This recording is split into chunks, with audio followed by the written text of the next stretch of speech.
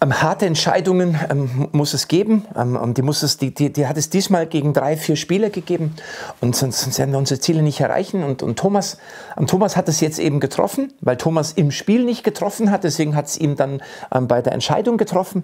Aber nächstes Mal trifft er wieder und dann trifft es ihn auch wieder, wenn er eben nicht spielt, weil es ihn dann halt getroffen hat. Und das trifft mich ja auch.